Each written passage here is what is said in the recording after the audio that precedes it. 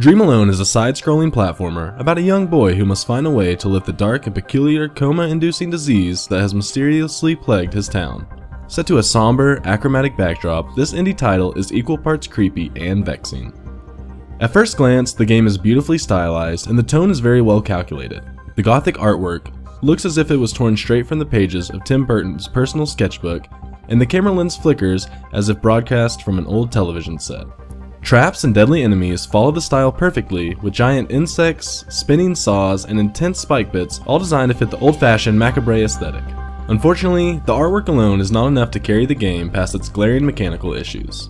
There are few actions available besides jumping, running, and the unlockable powers, which, to their credit, are actually pretty cool. For example, the first unlockable power is a mode that alters reality to transport the player to a different paradigm meaning the nature of the puzzle is changed, and certain objects, enemies, or platforms may or may not exist in the alternate universe. This new universe is orange-toned and exceptionally creepy, with floating ghost, cultists, and dead bodies impaled on spikes being a regular sight.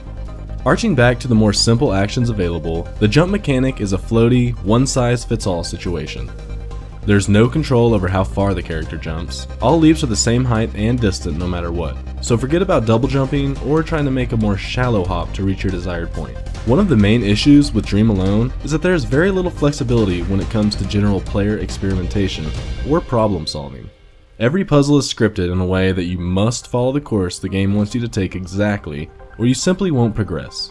In worst cases, you will trigger confusion in the game that will cause you to die immediately or be stuck running in place. The animations for character fatalities is amusing at first, but mundane after a while. Considering it does not hold back in its gore, but is the same one animation for every single deadly encounter.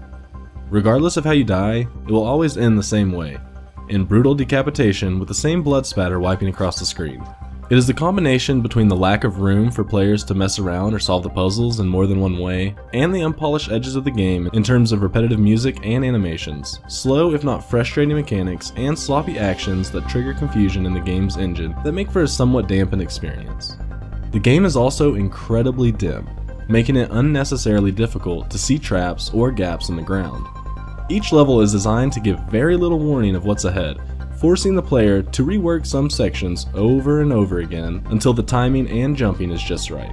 I actually enjoyed this punishing challenge, but some may find it distracting from the main story of the game. Overall, Dream Alone brims with potential, but falls slightly short in multiple areas. The concept and artistic execution is beyond intriguing, but certain kinks still need to be ironed out to make it a smoother and more flexible experience.